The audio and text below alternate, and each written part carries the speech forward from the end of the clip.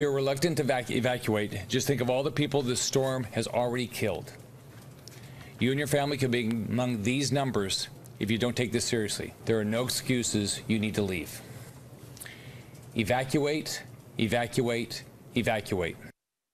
Governor Scott's equivalent of get off the beach. Georgia, South Carolina, and other states are on alert, and the White House is urging residents to take this deadly storm seriously. Both Hillary Clinton and Donald Trump have expressed concern in statements and on Twitter for the people of Florida. The Sunshine State is, of course, a critical, critical election battleground. Ivanka Trump canceled the scheduled event there today, while the Clinton campaign closed offices in the state and suspended its TV ads running on local Weather Channel stations. Today, President Obama has declared a state of emergency in Florida. This afternoon, on a conference call with reporters, Clinton's campaign manager Robbie Mook suggested that Florida officials should push back the state's October 11th voter registration deadline because of the hurricane. You may recall that in the past two presidential election cycles, both have been disrupted in a fundamental way by monster storms. So, Mark, my question for you is in what ways do you think Hurricane Matthew might affect the presidential race this year? Well, it's uncertainty, and presidential campaigns look for certainty. They hate stuff like this because they don't really know where the storm's going to go, how long it'll dominate the news, not just in Florida but nationally, and what impact it'll have. I think there's there's two big things to look at. There's lots of parameters, but uh, lots of variables, but two big things. One is Governor Scott. He is Donald Trump's chief proponent in the state. For the short term, he's going to be incredibly busy. He's not going to be thinking much about politics. On the other hand, if he comes out of this having handled it well, if his popularity surges, Donald Trump's top surrogate could be mega popular in Florida for the duration. On the Democratic side, the Clinton campaign had a much better machine to try to deal with voter registration, early voting, absentee ballots. Does the bad weather make their strong machine stand out more, or does it spoil everything because people aren't concerned with voting and that hurts their chances? That we don't know. Right. Um, you know, just for the for the for the history lesson here, people remembering these last two cycles. In 2008, it was a storm that disrupted the Republican convention to some extent, but not later in the voting cycle. Obviously, in 2012, you had both a hurricane and that disrupted the Republican convention for the second time in a row in Tampa, and then we had obviously Hurricane Sandy, which had a huge impact on everything, partly because it was so close to New York and the media markets and so on. I think, you know, Governor Scott matters to some extent, but the second thing you talked about, I think, is more important. And it seems to me both sides, their get out the vote operations, are going to be affected negatively by this impact. So it seems to me that the one that is better is going to be better placed to deal with it just because they're better they're and more dug in. They're counting on more votes that way. And They if the are. storm is Well- sufficiently powerful that people are away from their homes, they can't find their ballots, it may be that the Clintons don't bank the advantage they thought because very few people will vote early under these circumstances. It depends on how disruptive the storm is and for how long. Um, yes, The- the- obviously the question, all the questions relate to how long this thing goes on and how disruptive it is, especially in Florida, which is obviously going to be a super, super, super important state. All right, the pressure, of course, is now on Donald Trump to meet or exceed the expectations that have been set by his poor performance in the first debate and by Mike Pence's much pra- praised performance from Tuesday night. Today, Trump's economic advisor, Steve Moore, and former Trump aide, Michael Caputo, were both quoted in a Wall Street Journal story saying that the Republican nominee needs to have a better night this Sunday in St. Louis than he did at Hofstra University. It's rare to see people saying that from Trump world on the record. It's a widely held sentiment, though, amongst expectation setters. Might get a sneak peek at how Trump is preparing and ready to perform for that debate this evening when the billionaire test drives his town hall chops at a campaign event in Sandown, New Hampshire. So, John, obviously, if Hillary Clinton collapses in the debate somehow, that'll be a great night for Trump. But what would a W look like under these circumstances for Trump on Sunday night? Well, as you know, a lot of this depends on how we decide to treat it. We, you and me, and we, everyone in the media. I think we're just back to the same question we asked before the first debate. I, I think the standard has to be the same standard that it was before, which is we should expect Donald Trump to behave like a president and have command of issues, uh, have decent comportment on stage, not uh, do many of the things that he did on Tuesday night in terms of how he uh, prosecutes his case and defends himself. I think the standard should be exactly the same as it was for the first debate. For him to win the debate, he needs to win the debate on all those metrics, substantive and Yep. style. I think on style, it's clear, you know, no smirking, no negativity that's about personal attacks, talking less, more quietly, all of that. I think that they've, they've shown their hand a little bit on what they're going to try to do to win on substance, which is to talk about issues, to talk about things like taxes, energy, the Obama foreign policy record, where Trump thinks he holds all the high cards. Right. And I think that's that could be a win if he is able to effectively, depending on the moderator and the citizen questions, if he's effectively able to focus attention on those issues where Republicans think they've got the winning hand with voters. But again, I just really want to say, I have to say this, can't say it often enough. Donald Trump merely performing better than he performed disastrously in the first debate is not enough. a win. That's not a enough. win. And and yes, I mean the obvious thing if you were coaching him, you'd say, here's the starting point. You got to not get, cause problems for yourself. You got to not chase rabbits. You got to not take the bait over and over again. You got to try to actually be on offense, uh, be smart and crisp and clear and quick on defense to get out and do the pivots. All those things. That's the starting point, so not far- the point for victory. He's so far behind now in so many places where he needs to be ahead, including nationally, that I think it, the bar is different for him in terms of what would constitute a win. In the first debate, I thought if he just behaved in a dignified manner and showed some grace and humor, he would have won. That's no longer anymore. enough. Not he anymore. needs to do all those things. Plus, I'll say again, he needs to force the, the fight onto terrain where Republicans think they have the upper hand with Right. voters. And it starts, you know, again, Pence showed showed their cards on this. It's taxes. Right. It's the Obama record. The Right. parts of the Obama record that people don't like. And I believe it's it's it's the theme that he hit on for the first 20 minutes or so in the first debate. 30 years of dysfunction in Washington. We need an outsider. Yeah, and you look, if he could perform for, for 90 minutes as well as he performed in the first 15 minutes of the first debate, he'd have a chance to win. Still he wouldn't, not good enough. wouldn't necessarily win, but he'd have a chance to win. Here's the thing that, oh, again, to go back to, the whole point of these debates ultimately is to, to win the election, right? And the bottom line is right now, as it has been for all along, he's behind. And so if he doesn't gain votes on Sunday night or put himself in a position to win votes that he doesn't currently have, he loses the debate And the election. and the election, importantly.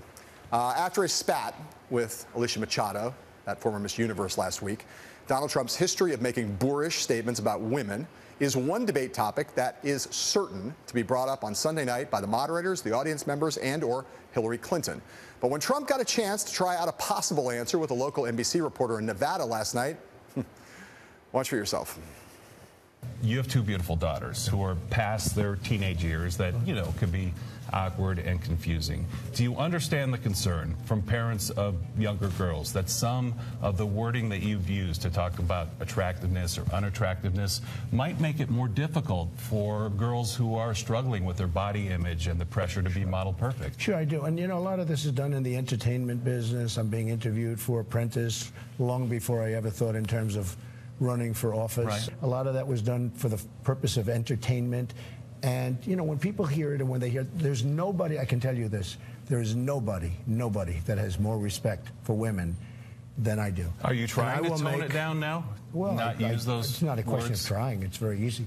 But you know, you're in the entertainment business. You're doing The Apprentice. You have one of the top shows on television, and you say things differently for a reason. Right. And now it's a much different world. So, Mark, uh, a lot of people are somewhere between appalled, incredulous, and doubled over in laughter at that response. Is that really the best answer Donald Trump has to why he talks the way he talks about women? Not a great answer. It'd be a better answer if, after becoming a presidential candidate, he hadn't said a lot of things, including last week, that were offensive to people. So I think, you know, he doesn't want to apologize. He doesn't want to say, I realize how offensive this was. I think the entire way he's handled uh, the insulting comments he made last week has been reflective not of being an entertainer, but of being someone who just does not want to behave in the way a lot of Americans think not just their president, but anyone running for president should behave. Or frankly, really any man should behave. Um, Yeah. You know, look, you've got a situation here where basically, if you listen to that answer, his answer is, I called women pigs, slobs, and dogs because for the purpose of entertainment.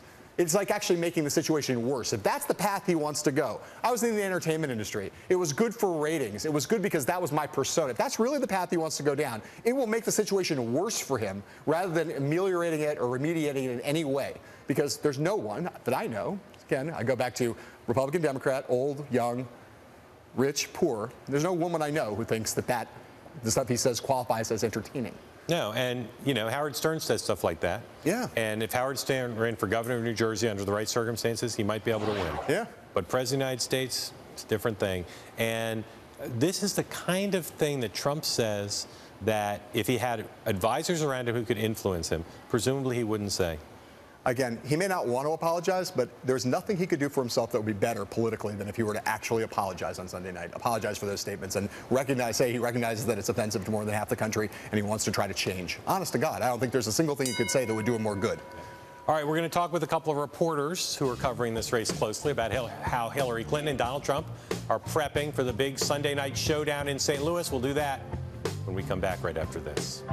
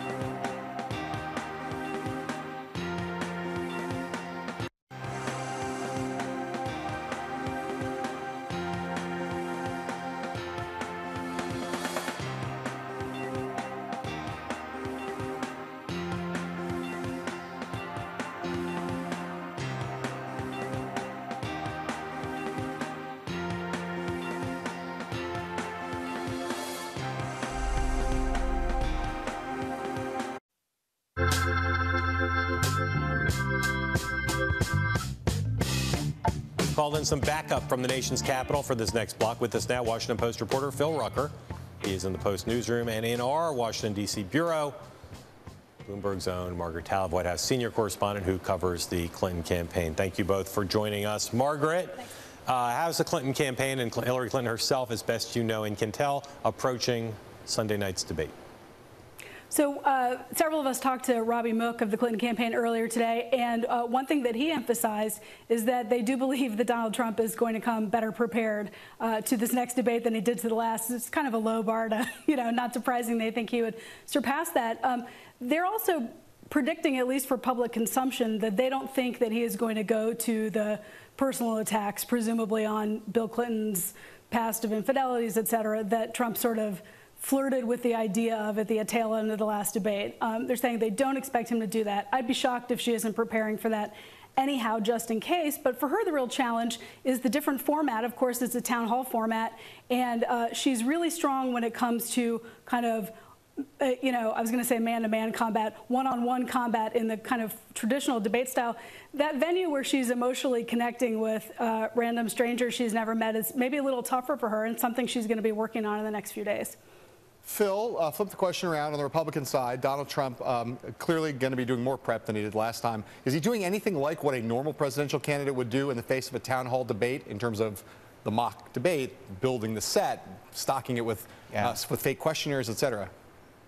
So, uh, so yes and no. Uh, he's refused to do a mock debate. He feels like that that kind of rehearsal, that's preparing scripted answers, is not for him. However, he's doing a dress rehearsal tonight in New Hampshire. He's got a public event there, a town hall meeting. Uh, I believe he's going to be there with New Jersey Governor Chris Christie, who's been helping take the lead on preparing him uh, for this town hall debate. And it'll be a chance for him to work on uh, how to interact with voters, on body language issues, on sort of how how how to to build build a connection with people when they're asking him a question, uh, and also, of course, to talk about some of his answers. One of the things he's trying to work on uh, better this time than the first debate is taking advantage of opportunities uh, to hit Hillary Clinton. So, for example, if cybersecurity comes up, talk about her emails uh, and so forth. So we'll see if it works. Phil, I want to switch to storm. Uh, storms like wars tend to be more TV stories than print stories, but I'm sure the Washington Post newsroom has turned its attention here. Uh, Trump needs a lot of attention on this debate. He needs to not only do well, but he needs a lot of people to watch it. What's your sense that your newsroom and, and news in general from Thursday to Sunday of how much focus there'll be on politics as opposed to the storm? Well, I think right now we're, we're really looking at the storm and politics is taking a back seat, although Sunday is, is three days away from now. Uh, so we'll have to see. I think a lot, of, lot will depend on what the impact of the devastation is uh, in Florida, in Georgia. Uh, we'll see a lot of millions of people are being evacuated. So uh, clearly it's a big story. It'll be an even bigger story uh, if there are casualties. Yeah, I mean, of course, our hopes and thoughts are with all the people in Florida and in the path That's of right. the storm. It's a, it's a, it's a, a huge storm and one where public officials are doing their best to try to prepare, but the devastation, uh, some things just can't be controlled by human beings. Margaret, just look at the politics of it, though. You know, we talked about it a little bit earlier in the show. You got two battleground states in Florida and North Carolina that both could be affected in a significant way by this storm. Just talk about the ways in which you think it could impact uh, the, efforts to the ground game, effort to do early vote, efforts to rally the base in both parties, et cetera. Absolutely. One thing that Robbie Mook did say earlier today is that um, they're expecting as many as 40% of the votes altogether could be cast before Election Day. And the three states that he really emphasized were Florida, North Carolina, and Nevada in terms of states that could be cited before Election Day. Two of those states, of course, are directly in the path of this storm. And so that becomes a very important proposition for the Clinton campaign. We saw with the controversy over them going, you know, halfway done placing an ad with the Weather Channel and then pulling it back, that they obviously are concerned about not not being seen as politicizing uh, the storm and and not distracting from public safety issues. But it, it's it's going to certainly affect um, kind of the, the continuity of, of turnout efforts, door knocking efforts, that sort of thing that the infrastructure of the campaign has built in. They're saying they're communicating directly with their volunteers and staff in those states saying, listen, your first priority is, is to heed uh, the you know, instructions about evacuation and that sort of thing. The, the intensity of that storm, what actually happens and how it affects people will matter on a couple of fronts. Number one, and obviously, there are weeks between now and election day, but can people get home to vote? Will they be concentrating on voting?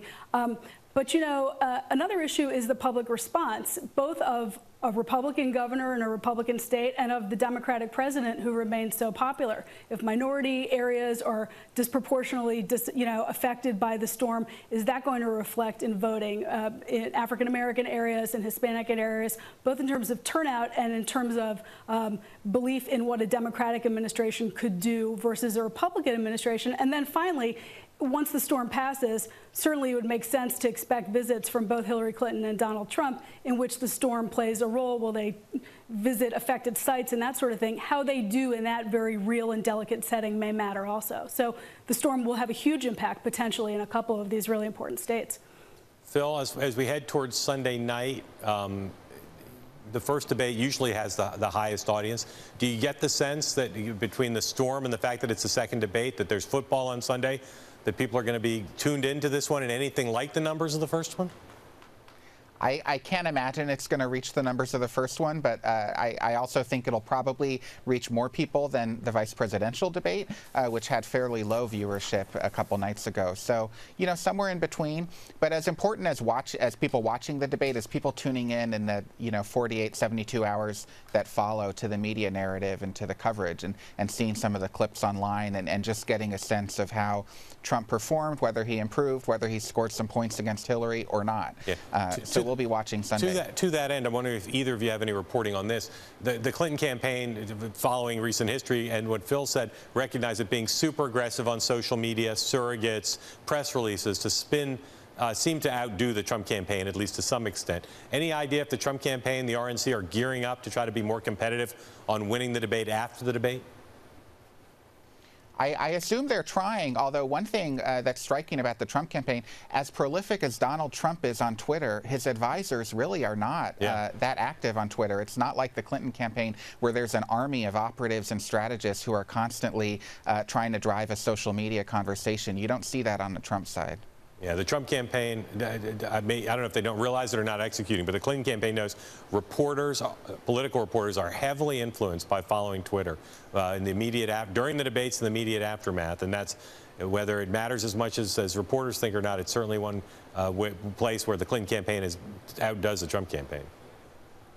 That's exactly right. Yeah. Yeah. Margaret, last question I have for you is Bill Clinton. Uh, he came to the first debate, first time he's come to and been in the hall for Hillary Clinton. Do we expect him, do you know, in St. Louis? And uh, is it less likely given he's stirred up a little controversy this week with his Affordable Care Act comments?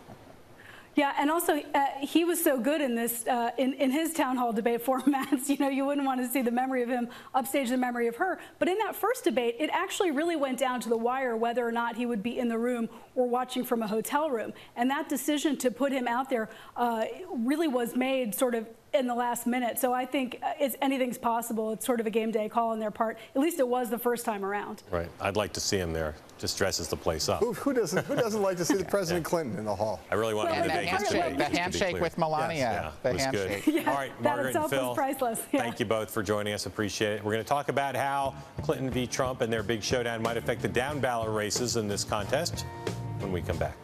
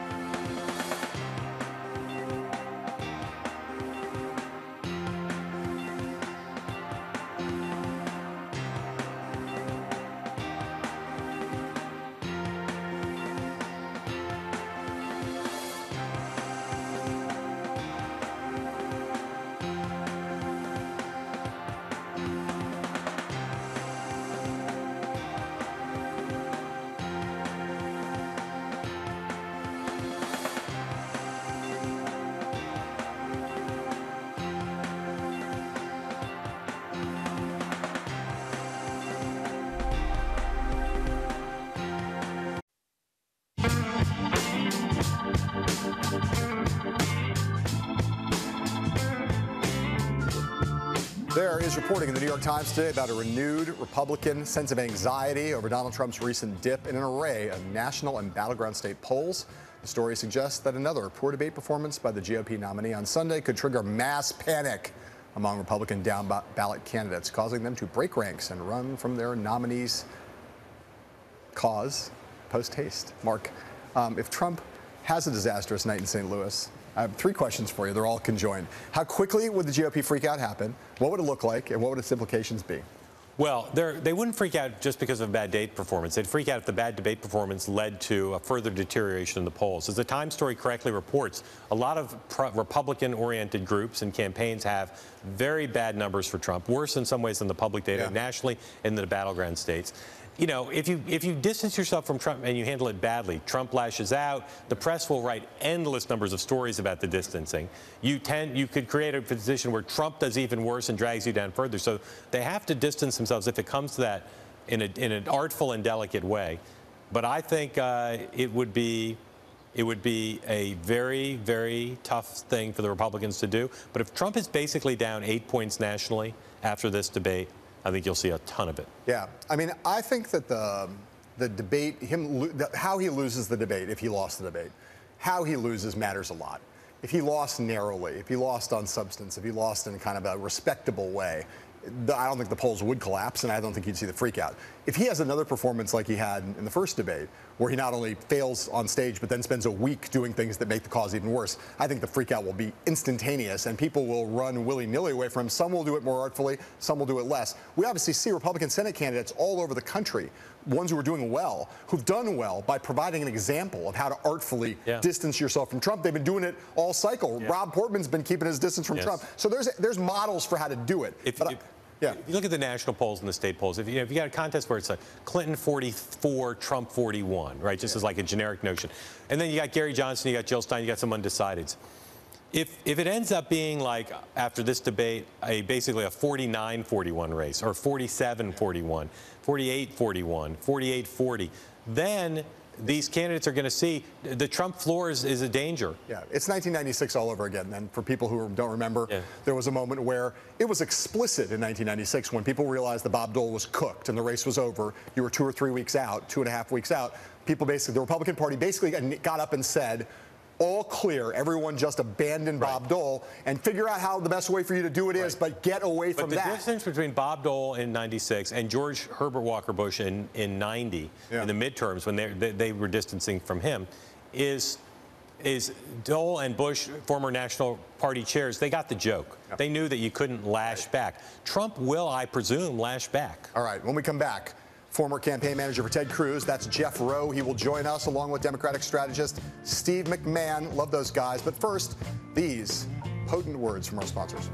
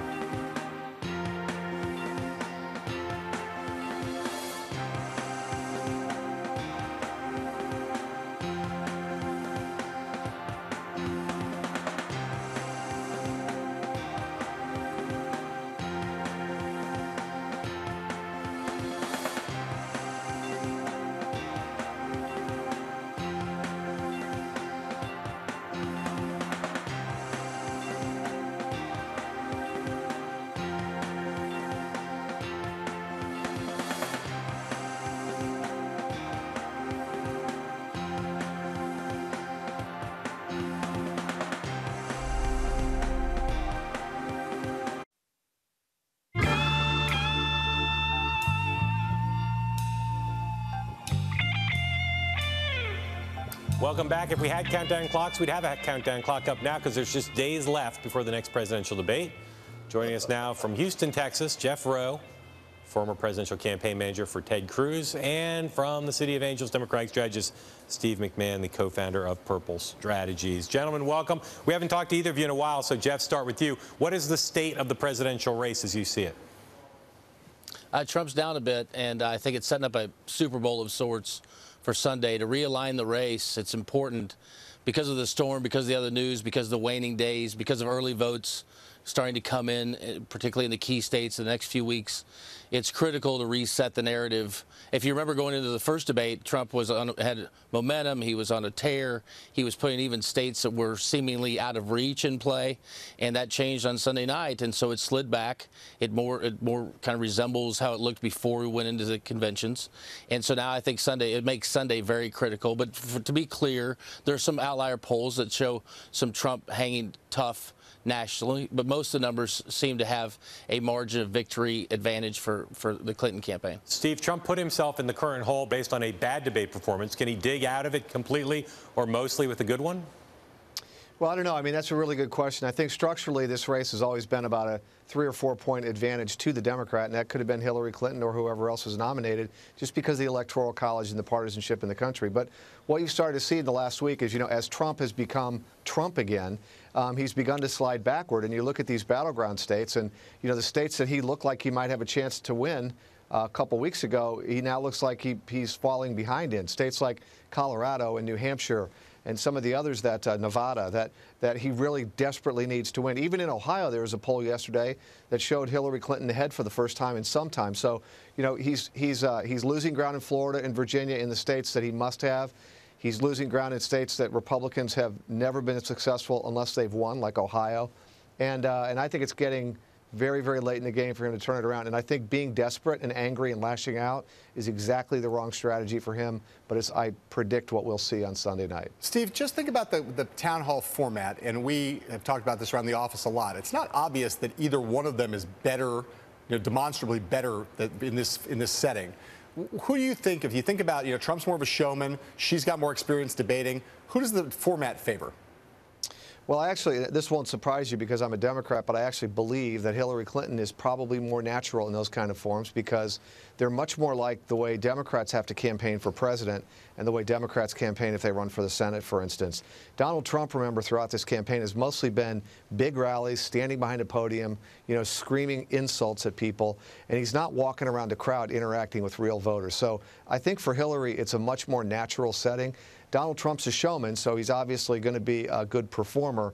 But I think for her, it doesn't take a performance. It's just kind of who she is and how she's campaigned. Jeff, you, you were when you were running Ted Cruz's campaign, you spent a lot of time watching your guy on a debate stage with Donald Trump. Make the case for why Steve's wrong and why this is a better, more favorable setting for Donald Trump.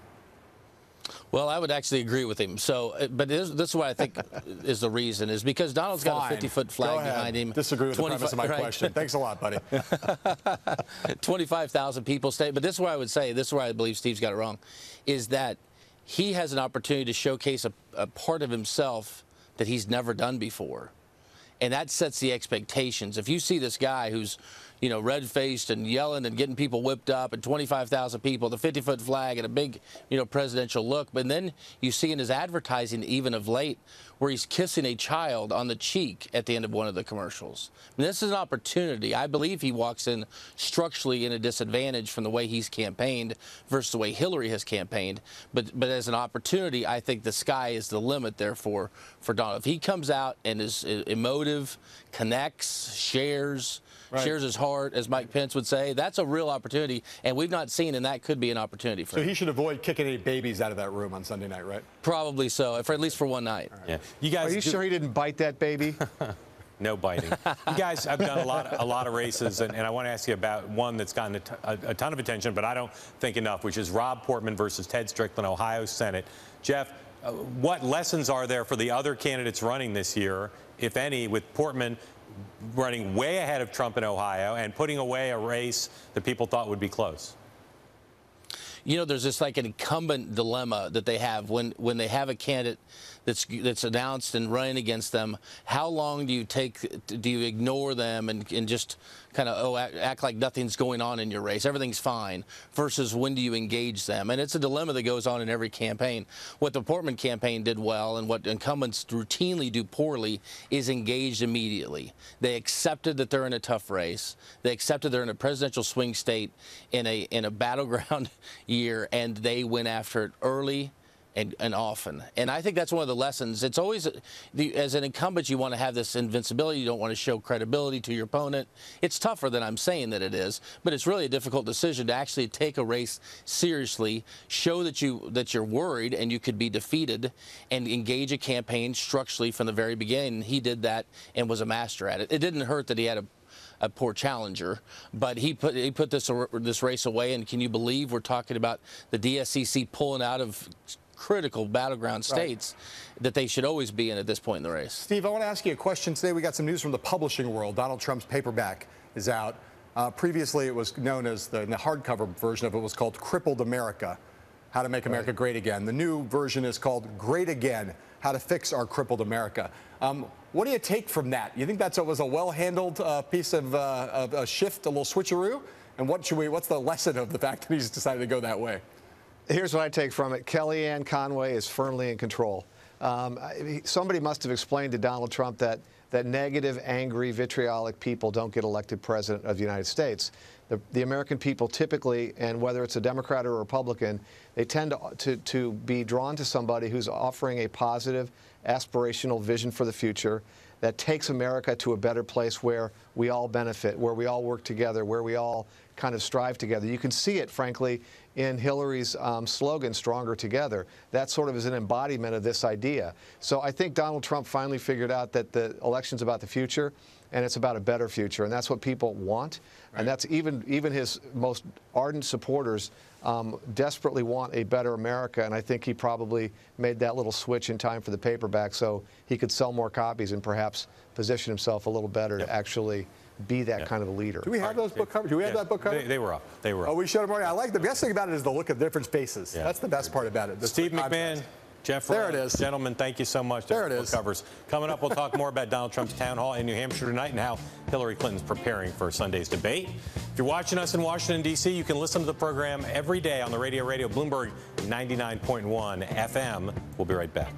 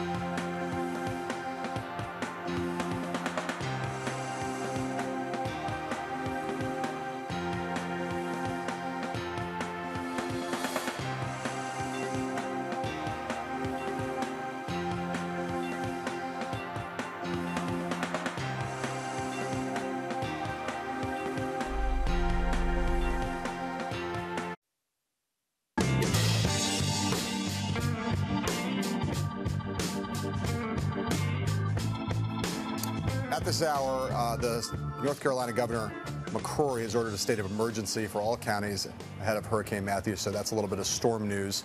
Uh, we also have some other news, which is that Donald Trump is up in New Hampshire getting ready for the town hall meeting that we've talked about a couple times tonight. That event will undoubtedly be scrutinized for clues as to how he's preparing for the second presidential debate this Sunday. With us now to talk about that and more is NBC correspondent Kelly O'Donnell, who is out in the Granite State covering Trump, and back here in our studio, once again, the great MSNBC political correspondent Kasie Hunt, who just can't stay away from us, apparently. Can't stay away. Kelly, why Sandown? Well, John, in part, this is a Republican area, so that will bring about a friendly crowd, a crowd that will ask questions, is the expectation with Howie Carr, the uh, conservative Boston radio host, as the moderator. That's part of it. The other part of it is that Governor Chris Christie held his very first town hall of his presidential run at this very same place just hours after he jumped into the race back in 2015. So he's already done the, the run through here, and he will be joining Donald Trump tonight. So this is familiar turf.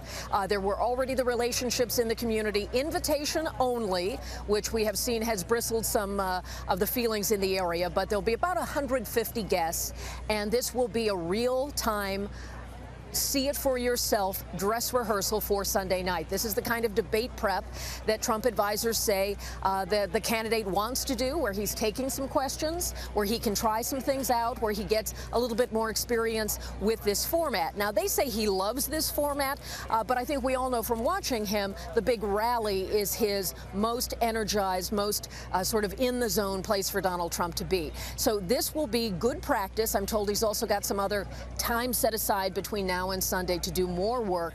Uh, but it's interesting to see a candidate who is pretty candid about the fact that we're getting to see the debate prep instead of it being, you know, holed up in a hotel, working with uh, advisors, that kind of thing. So it'll be interesting to watch. In politics, as in life, uh, people like the predictable, and at the same time, you don't worry about what you can't control. Yeah. How's the Clinton campaign dealing with the storm as you see it?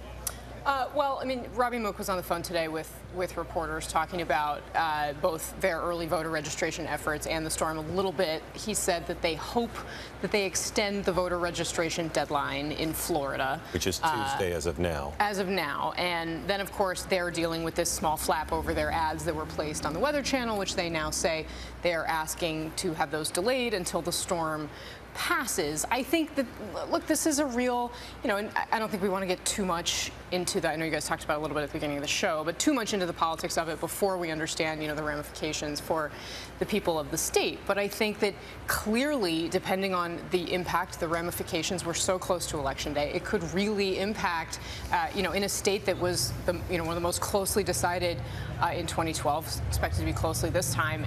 Anything could really happen if, if the damage is actually what- what's None, being none of us know, but John and I debated at the beginning of the show. Does their superior ground game mean that in the tougher terrain of trying to get people to turn out early and absentee in a storm, the tough, the, they'll thrive in the tougher terrain, or is their advantage wiped out because in the tougher terrain with people moved all around, distracted by the storm, it mitigates their advantage? I mean, look, I think one of the greatest challenges for the Clinton campaign here is the unpredictability of the Trump side. To a certain extent, they don't know what they're running against. So anything that makes this more unpredictable, I think, is going to up the level of stress Right. for the Clinton campaign. And I think this is yet another thing that makes Florida more unpredictable and difficult to grapple with. I do think they believe that uh, the Trump campaign, if they have a ground game anywhere, they have a ground game in Florida. Right. So to a certain extent, they, they feel like they might be a little bit better matched. They have sent some, some more staff down there in recent days, now dealing with trying to rehouse them, actually, um, in light of the storm. But I, I don't think it necessarily helps them. Kel- Kelly, let me ask you about Florida and Trump. I mean, this is a, his adopted second home. Um, he, the place where he spends a lot of time, a place where he also owns an incredibly opulent resort, Mar-a-Lago, um, which is actually on the beachfront. Um, what kind of challenges does this potentially pose to Trump in terms of how he talks about it, and how are the people in the Trump campaign preparing for that and thinking about it? Well, it's complex for that very reason because he has a business in the eye of the storm. We don't typically see that. So far, we've seen the more traditional response with the tweet where he's wishing people well and urging people to be safe, a more lengthy statement. Uh, but in talking to advisors, they're saying we just don't know what we're dealing with yet in terms of how this will affect the campaign, the public events, and so forth. But for Donald Trump, there's a very real ongoing impact with the property he owns, the employees he has, And that is something that can, on the one hand, give him a, a more vested stake in talking about Florida, which he does refer to frequently as a second home, but it really puts him in the middle of that. But it also means that he will be judged for how he handles it as a boss, as a person who is big in the community. Are they taking all the right steps? Are they following all the rules? And are they working in conjunction with Governor Rick Scott, who has been, of course, supportive of Trump? So it puts Donald Trump in a situation where we have not seen him very often, and that is a true national emergency where he's got to make judgments not only as a candidate, but as someone who has a real invested interest in the state where this is going to be felt. And so that's a new way for us to assess how Donald Trump handles an emergency. Does he have the right tone? Does he do the right things? Does he set an example? Uh, that's part of what will be interesting over the next 48 hours. Of course, separate from all the real human life aspects of it, the political calculation is something he's going to have to tread carefully. And advisors I'm talking to say they're just not entirely sure how best to handle it yet because we don't know the scope of what will happen. So the, so the, Clinton campaign is going to be watching Donald Trump up here in New Hampshire tonight. They're going to be watching very carefully, I'm sure. Do you have a sense of whether they think that, what, what, they think of this as a way of preparing for a debate, not the way in which uh, Ron Klain and Karen Dunn would ever have someone prepare for a debate, go into friendly territory, do a public event. They do it in a much more structured and rigorous way. How do they feel? Well, they look at this and say what? Look, we talked about this a little bit yesterday. She has been doing town hall events as well, which she doesn't always right. always do. I mean, look, I think to a certain extent there is value in in putting a candidate uh, in in the physical space that they're going to be in, and the only way you can really do that in, in a real way is to do what he's doing here in New Hampshire. But of course, that said, Trump, yes, go ahead. Yeah, no, I'm sorry. I was going to say, in Trump's case, it's the only way to get him to do it at all because he won't yes. do a fake a fake rehearsal. So that's actually exactly what I was going to say. Like she's going to do the the actual town hall, and then she's also going to spend two days uh, you know, mocking this up. They haven't done uh, mock debates yet, but that's our understanding for what they're doing over the course of, you know, later today, tomorrow, Saturday, uh, with, of course, Philippe Reines playing Trump again. You know, I, I think the question still is Trump going to be willing to do, as you say, the prep that, uh, you know, at least his advisors think he needs to? All right. Uh, Kasie Hunt in this chair. Basically, we need to have a third chair for Kasie now all the time. Happy to I'll see move you. in. That's fine. Uh, Kelly O, come back, please, soon and, and try to kick Kasie out of will the do. chair. Thank you for being here. You two, you're great. Up next, we will talk with one of Florida's top political strategists about the hurricane and more right after this.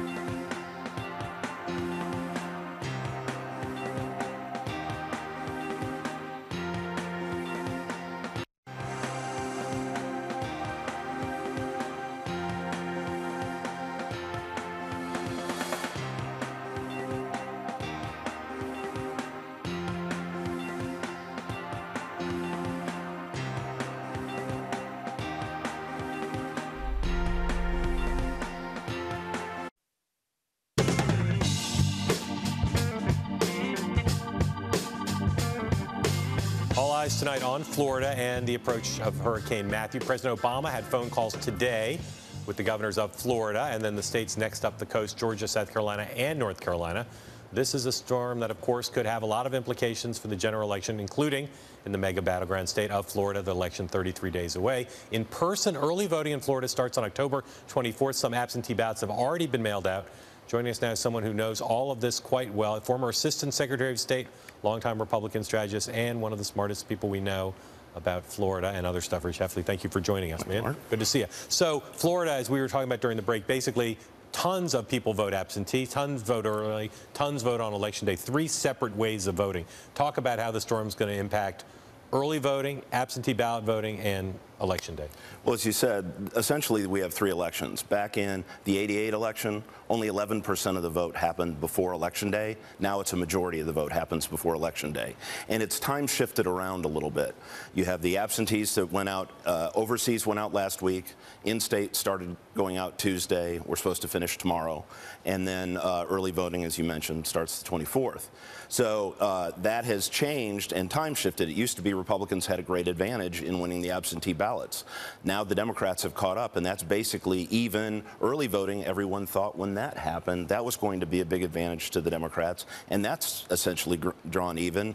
And then on election day, that's really still, even though it's less than a majority of the vote, is key because in the last, in, in the gubernatorial elections, the Republicans have won on election day, and in the presidentials, they've lost. And we've won gubernatorial elections and lost the presidentials. Right. So President Obama won Florida both times. Yes. He ran 2008, 2012. What's changed, to the extent anything has changed, that makes Florida more hospitable for Donald Trump than it, than it was for the past two Republican nominees? Well, I think uh, you had a lot more uh, voters vote in the presidential preference primary on the Republican side. I think there's an intensity. I think the growth has been re relatively even um, partisan-wise. We've actually uh, gained in registration since the last presidential election. We being Republicans. We being the Republicans. We've never been in the majority, mind you, but um, in a closed registration state, but it has gotten better. So uh, I think between the intensity, uh, registration, uh, and the political environment, you've got uh, all Republican statewide elected officials, with the exception of Bill Nelson for U.S. Senate. They're doing a good job. Right now, you're watching Rick Scott do an extraordinary job with this hurricane. He did a great one with the last hurricane and did a great job with the Pulse. So they're seeing Republican management in action. And Rick Scott, in many ways, is a, is a Trump model. If, uh, if Rick Scott, if as we all hope and pray, the storm does not cause a lot of devastation, if Rick Scott continues to be as aggressive as he was today in handling it, is he a potent political force in the state? If he's more popular and energized for Trump, does that make a difference? Absolutely. Well, realize there only have been two Republican governors reelected. Uh, that's how new we are to controlling the state as a, an old Democrat southern state. Jeb but Bush, and, Jeb Rick Bush Scott. and Rick Scott are the only two that ever been reelected.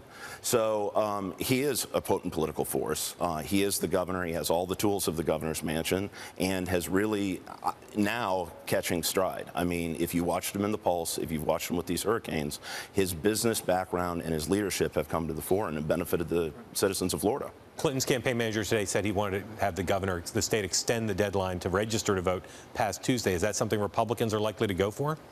I wouldn't think so, but I mean, I find it. The, the hurricane just came about the last couple days. I mean, it'll be litigated. We'll go to court. It's Florida. Okay, we can. I'll, I'll cede that part.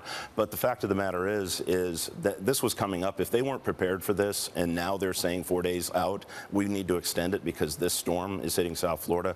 I think that's you know kind of thin soup. But again, we want everybody to have their right to vote if that's what it takes. Okay. Rich, thanks for coming in, man. Okay. Thank welcome, you. Welcome to New York City. We'll be right back.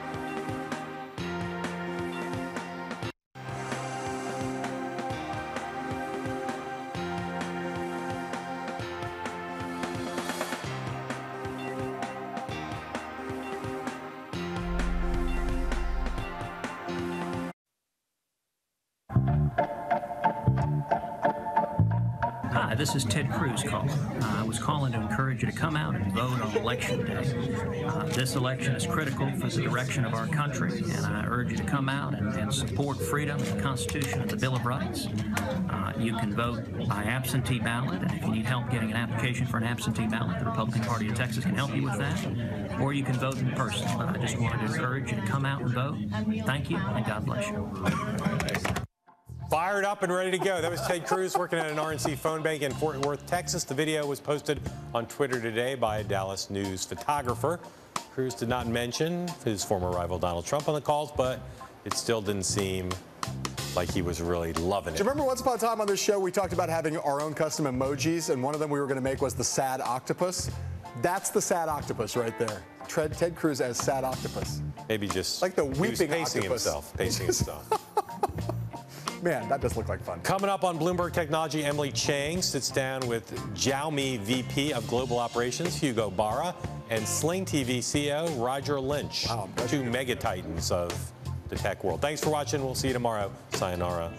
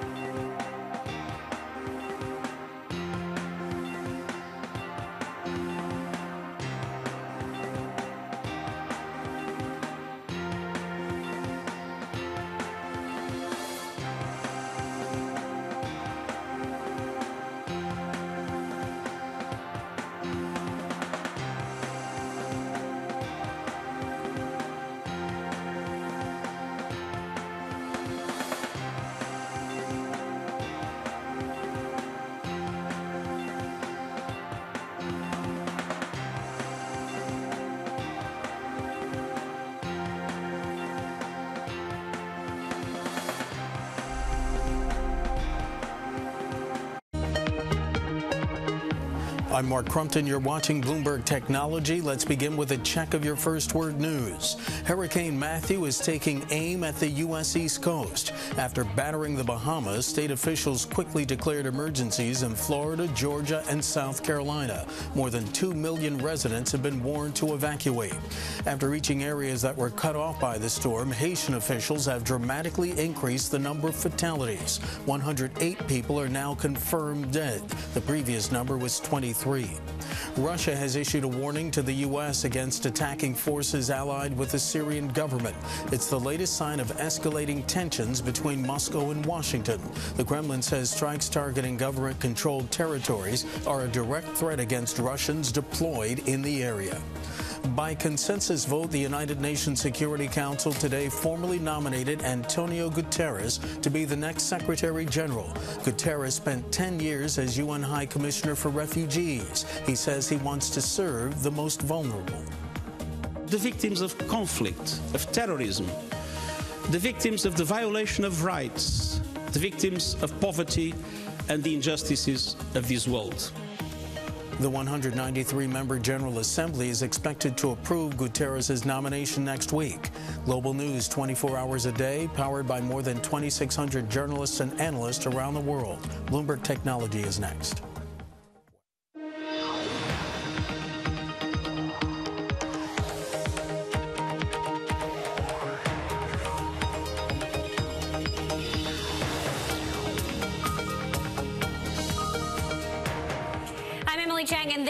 Bloomberg Technology. Coming up, social media star Snapchat may be getting ready for the public markets. We'll bring you up to speed on what we know so far. Plus, does anyone want to buy Twitter? Shares fall more than 20% on reports that prospects for a deal are falling apart. And a rare interview with Cheng Wei, the founder and CEO of China's Didi Chuxing, how he won a turf war and took over Uber in Asia's biggest market. But first, to our lead. The flashiest tech IPO in more than a year is officially in the works as Snapchat prepares the paperwork to go public. According to people familiar with the matter, the company is aiming to sell shares in the first quarter of next year, possibly as early as March. But the timing is tricky, and sources cite three key factors that Snapchat's parent company, Snap, is watching. Joining me now from New York, our Bloomberg Business Week reporter Max Chafkin with the latest. Max, you did a very in-depth feature on Snapchat. What do we know about their plans for an IPO? How soon?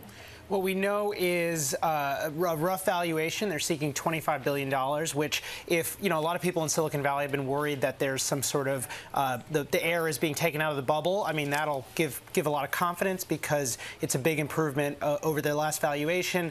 Um, the other thing is they're they're trying to do this quickly. Um, it's pretty stunning when you think about just how fast Snapchat's moving. They only added you know these basic measuring features that most of their competitors have. You know, like in the in the past weeks and months, and they just announced this glass glasses thing. I mean, they just changed their name to, to Snap Inc., which uh, I think I just made a mistake there. But but in any case, it's it's it's pretty it's pretty wild just how fast this story has moved, and this IPO is just sort of like the latest thing in what's been kind of a crazy six months. So why do you think they're going forward with this now? I mean, I know there are a number of factors out there that they've said will affect their timing. Right. Well, I think so. So part of it, I think, is they're trying to seize on some momentum. Um, Instagram just, uh, Facebook's Instagram just knocked off the basic functionality of Snapchat. I think a lot of, I think there, there, there, there must be concern uh, about that, and and you sort of want to like seize the moment right now. It's it's it's been really good, and and the other thing is, it, it, again, Snapchat's kind of unproven, so so there may be a thought that like we may as well you know, get public now rather than sort of risk some problem in the private markets. If, if private funding were to dry, dry up in the, you know, coming, you know, 12 months or 18 months, that could be a real problem for Snapchat if it weren't public. So I think it could be sort of a combination of seizing the moment, but also just, um, you know, trying to time the market. Now, I spoke with Twitter investor Chris Sacca earlier this week, and the first thing he did when he saw me is snap, uh, not not use Twitter, uh, which he's been Twitter's uh, biggest cheerleader for the longest time. Uh, take a listen to what he had to say about Snapchat. Snapchat is interesting in that what I think distinguishes it is less about the product and more about the product team. That's a company that's been willing and able to reinvent itself a few times now. They're just bold. They just take chances. And when they originally walked up to me after a talk I gave once and said, "We really love what you stand for. We love the way you work. We talk to other people, work with you. We want you in our deal," and I was like, uh, they walked away, and I went home and I told my the, my younger business partner, and he's like, "You said what?" and by the time we got back to Snapchat, they'd run away and done a deal with somebody else. It was a bummer. It probably cost us a few billion dollars. So unfortunately for Sacca, he didn't get in on that deal, but others did, you know, he's he's using the uh, product innovation, the willingness to change as a positive, perhaps in comparison to Twitter, which you know hasn't changed. How are we?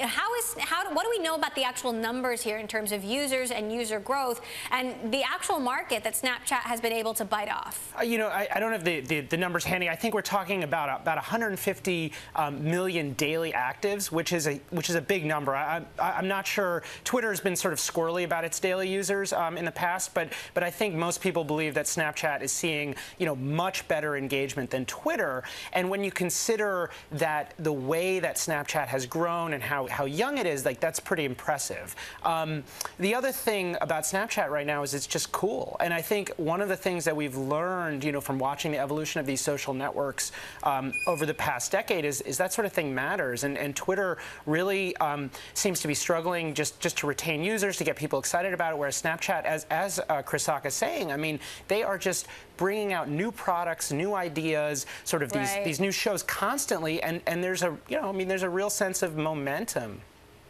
Well, we'll see if cool is enough to uh, spark public market investors. Our Bloomberg Business Week reporter, Max Chafkin, thanks so much uh, for that update. Uh, we're going to continue the conversation tomorrow with Lightspeed venture partner Ravi Mehta. Lightspeed was the very first venture capital firm to back Snapchat. Turning now to tech M&A because on one hand, Qualcomm is moving